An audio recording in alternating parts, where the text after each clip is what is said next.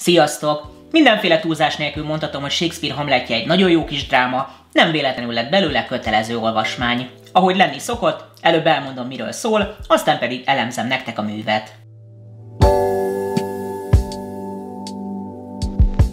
A Hamlet öt felvonásból áll, ezek pedig további kisebb részekre, színekre bonthatók.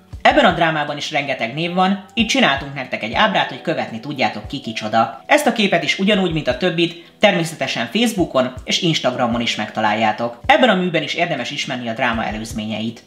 Az öreg Hamlet, a főszereplő Hamlet apja, megölte az előző norvég királyt, az öreg Fortinbrast, akinek a fiát szintén Fortinbrastnak hívják.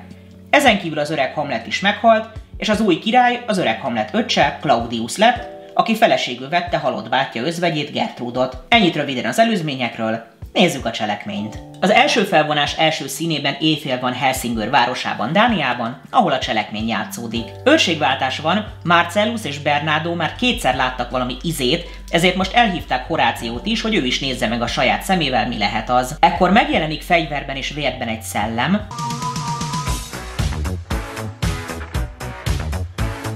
akiről megállapítják, hogy pontosan olyan, mint az előző király, öreg Hamlet. A második színben Claudius a mostani királyt ad beszédet, ahol elmondja, hogy feleségül vette halott bátyja az öreg Hamlet özvegyét. Fortinbrashoz a norvég herceghez pedig követeket küld a békereményében, mert Fortinbras hadsereggel fenyegeti Dániát. Itt van még Polonius, a főkamarás, illetve Polonius fia Laertész, aki engedélyt kér, hogy elmehessen Franciaországba. Laertészt Claudius elengedi, hadd élvezze az életet.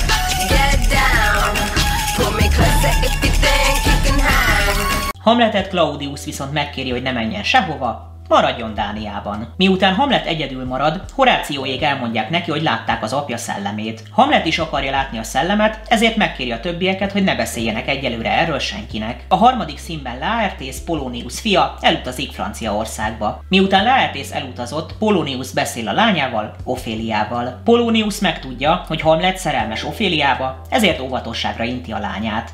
Papa,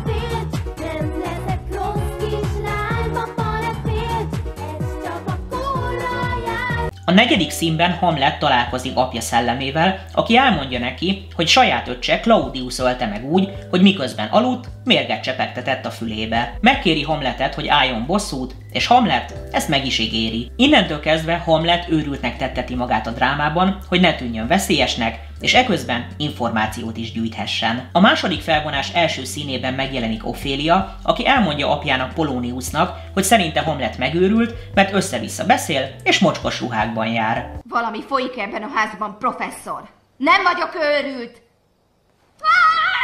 Polonius azt hiszi, hogy ennek az őrületnek az Ophelia iránt érzett viszonzatlan szerelem az oka. A második színben a király Claudius és a királyné Gertrud megkérik Hamlet két gyerekkori barátját, Rosenkranzot és Guildenstern, hogy derítsék ki, mitől őrült meg Hamlet. Ők találkoznak Hamlettel, és elmondják neki, hogy a király és a királyné küldte őket, így Hamlet nem bízik bennük. Megjelenik Polonius is, aki elmondja, hogy színészek érkeztek az udvarba. Hamlet tragédiát kér a színészektől, és megbeszéli az egyikőjükkel, hogy pár sort beleír darabba. Az a terve, hogy eljátszatja apja meggyilkolását, és figyeli közben Claudius reakcióit. A harmadik felvonás első színében Rosencrantz és Guildenstern elmondja a királynak és királynőnek, hogy nem sikerült megtudniuk Hamlet őrületének az okát. Hallják Hamletet közeledni, így elbújnak, de odaállítják a folyosóra Oféliát, hogy próbálja meg kiszedni Hamletből mi a baja. Hé, hey, nyugalom, csak segíteni akarok. Nem az én dolgom, hogy mizaklatot fel.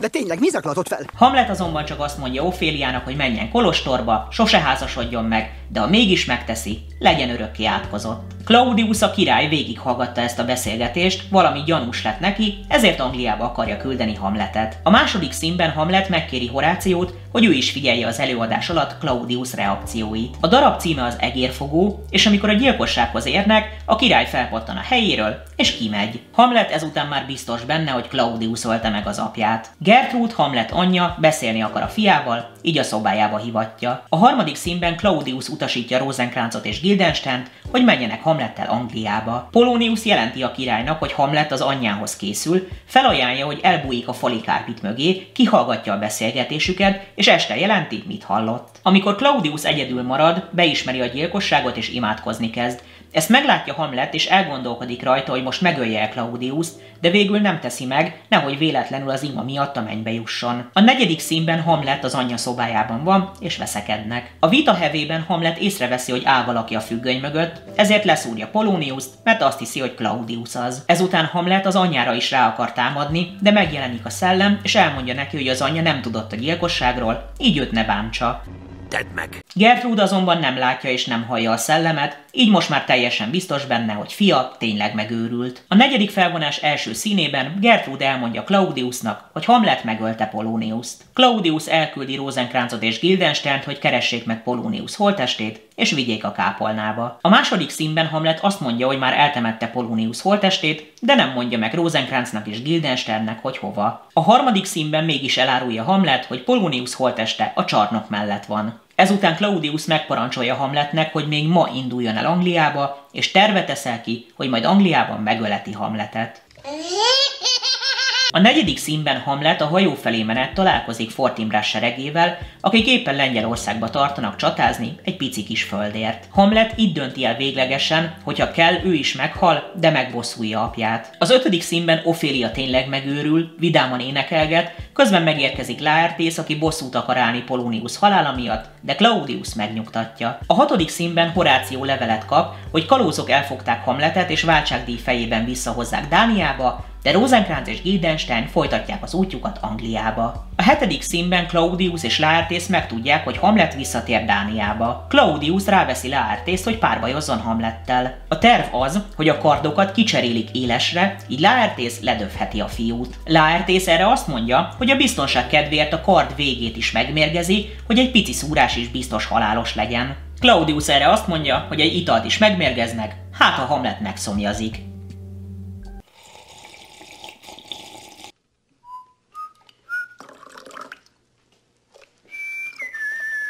Ekkor érkezik meg Gertrude a hírrel, hogy Ophelia vízbe fulladt. Az ötödik felvonás első színében két sírásó éppen egy sírtás, és koponyákat dobálnak ki a földből. Megjelenik Hamlet és Horáció, akik meglátják a királyt, a királynét és Laertészt, ahogy hozzák Ophelia holtestét. Laertész és Hamlet, ahogy meglátják egymást, összeverekednek. Miután szétválasztják őket, Claudius emlékezteti Laertészt a tervükre, és kéri, hogy egy kicsit legyen még türelemmel. A második színben Hamlet elmondja Horációnak, hogy a hajón elolvasta a király levelét, amiben az állt, hogy öljék meg őt. Hamlet ezt a levelet kidobta, és írt egy újat, hogy Rosenkranzot és Guildenstern öljék meg. Ezután Hamlet és Laertész megvívnak egymással. Amíg vívnak, Gertrud szomjas lesz, és iszik a mérgezett pohárból. Hamlet és Laertész birkóznak, a harc hevében kicserélik a kardokat, és kölcsönösen megsebesítik egymást. A királynő összeesik, de az utolsó erejével még elmondja, hogy a pohárban méreg volt, majd meghal. Laertész elmondja, hogy a kardok is mérgezettek, így nem sokára Hamlet is meg fog halni,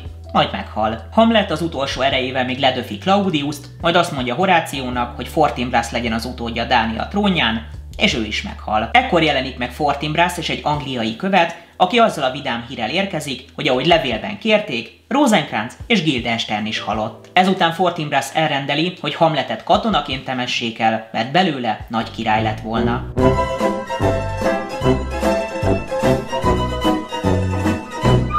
Ennyit a cselekményről, jöjjön az elemzés. A Hamlet műfaj a tragédia, vagyis a műben valami jelentős értékvesztés megy végbe, itt ugye ez majdnem az összes szereplő halála. Ezen kívül konfliktusos dráma, vagyis két ember vagy két csoport áll szemben egymással, ez ugye itt Claudius és barátai, illetve Hamlet és barátai. A következő ábrán a szereplők csoportosítását láthatjátok. Hamlet mellett három ember áll a drámában, Horáció, Bernardo és Marcellus, bár Bernardo és Marcellus csak annyit tettek Hamletért, hogy nem árulták el senkinek, hogy látták a szellemet. Claudius mellett sokkal többen vannak, Polonius, Laertész, Rosencrantz és Guildenstern. Vannak szereplők középen, akik mindkét csoporthoz tartoznak, ilyen például Gertrude, aki egyszerre Hamlet anyja és Claudius felesége, illetve Ophélia, aki Hamlet szerelme, és Polonius lánya is. Már a dráma alaphelyzete furcsa, hiszen törvényesen a hagyomány elve szerint Hamletnek kéne uralkodni a Dániában, hiszen ő a halott király fia. Helyette azonban Claudius ragadta meg a hatalmat, hiszen a természet törvénye szerint az uralkodik, aki erősebb vagy ravaszabb. A Claudius által képviselt világrend azonban rossz, hiszen egy gyilkosság révén jutott hatalomhoz. Ráadásul erkölcsileg is romlott, hiszen feleségül vette halott bátyja özvegyét. A mű egyik központi eleme az őrület, Hamletnél ez csak egy álca, hogy elérhesse a célját, hogy bosszút állhasson apja gyilkosán. Oféliánál az őrület viszont valós állapot, hiszen a lány nem nagyon értette, mi történik körülötte. Apja halála után teljesen egyedül marad, a testvére sincs mellette, így összeomlik, és ez az őrültség vezet a halálához. Érdekes, hogy a műben hárman is hasonló helyzetben vannak, hiszen Hamlet, Laertes és Fortinbras apját is megölték, viszont mindhárman máshogy viszonyulnak ehhez a dologhoz.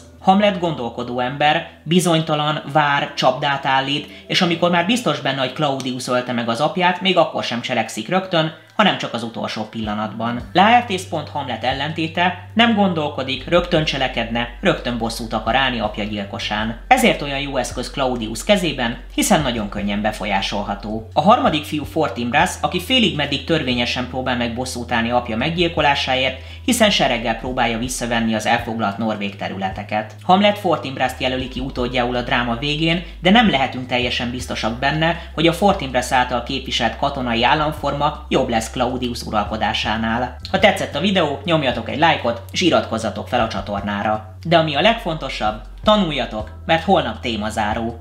Sziasztok!